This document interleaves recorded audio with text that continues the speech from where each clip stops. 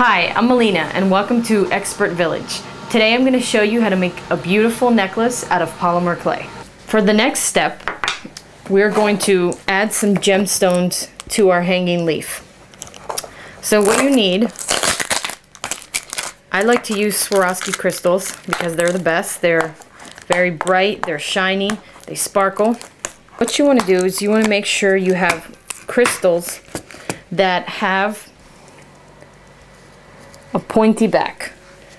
And you can see these crystals are not flat back. So you're going to take a few of those and what we're going to do is we're going to press them into the clay. These crystals are perfect for clay.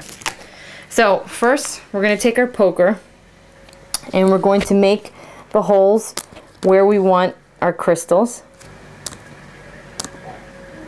And you can do this with anything. I like making this type of pendant because it's simple and it's interesting, but you can adhere crystals this way to anything. You can sculpt whatever you want. All you have to do is make a little hole and then you pick up the crystals and you should have enough just natural moisture on your skin.